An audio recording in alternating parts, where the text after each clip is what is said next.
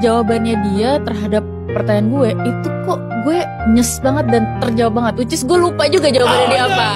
Oh gila lu. Tapi gue pokoknya Lu anti klimaks banget. sorry sorry mohon maaf. Nanti gue akan gue akan tanya lagi deh sama si bapak itu.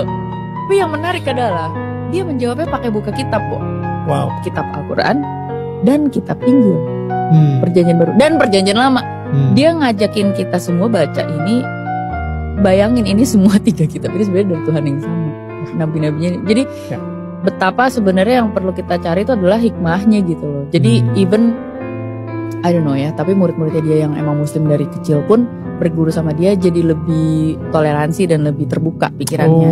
Oh, dan wow. itu indah banget That's menurut gue. good. Ya. For somebody yang baru datang dari ibaratnya agama lain gitu ya. Ya. Oh ternyata eh, toleransi ya nih agama ini gitu loh. Jadi gue langsung yang gue mau belajar nih dari bapak ini karena